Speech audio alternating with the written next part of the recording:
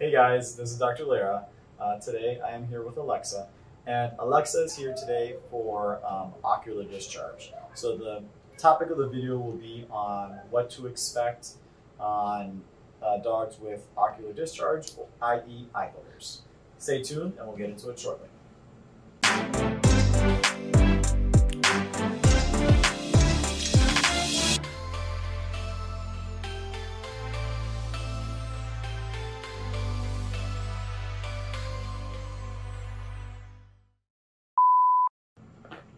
All right, guys. So uh, the main reason that Alexa came in today was because uh, the owners were talking about uh, her having a lot of ocular discharge.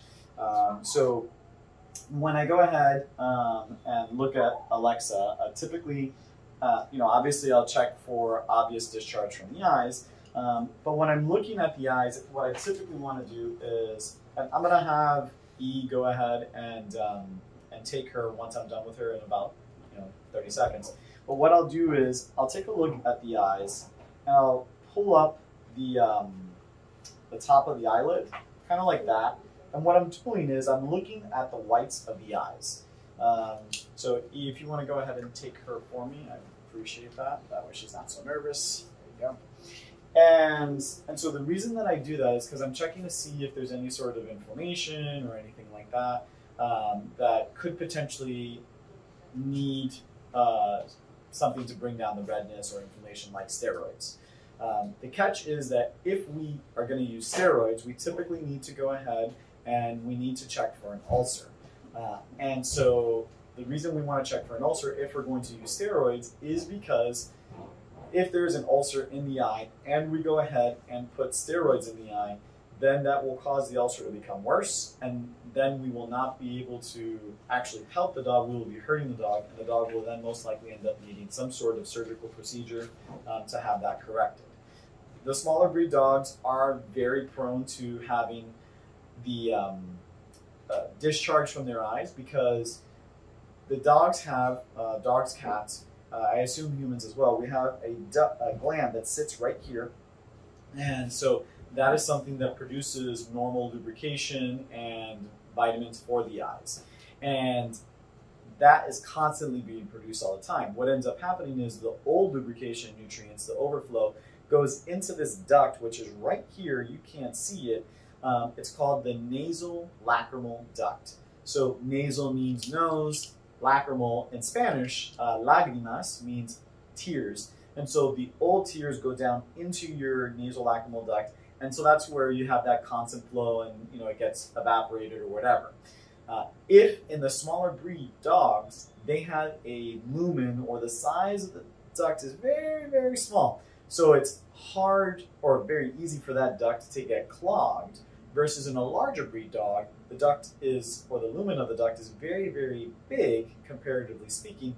So you're more likely to see these smaller dogs have the boogers building up and that kind of stuff. Um, versus with the larger breed dogs, you're less likely to see that problem. And so what ends up happening is we will, in this particular case, because there was no redness on the eye, I'm going to be dispensing a triple antibiotic with no steroids. I repeat, no steroids. And that is something that if your veterinarian dispenses to you, that is okay for you to use from time to time. If you have something, an eye drop that does have steroids, it is critical that you definitely talk to your veterinarian and most likely will need to bring your pet back to the veterinarian to make sure that there is no steroid, uh, no ulcer in the eye before you go ahead and use any sort of medication that does have steroids because again that is a major no-no you will end up with a much bigger problem okay so um, the most common cause, what I anticipate, is either the duct getting clogged, and that can be tied to a number of different reasons. One of them could also be allergies, also the size of it. Uh, I went ahead and took a look at the white of the eye to make sure that the eyes, that the sclera was white and didn't need any sort of steroids. Uh, at home, you have the advantage of, you know, most likely, unless you have a one-eyed pet, uh, of being able to check both sclera. It's not going to typically be on both eyes. It'll typically just be on one eye. So you'll be able to see if one white of the eye is more white than the other, or if one is red, more red than the other.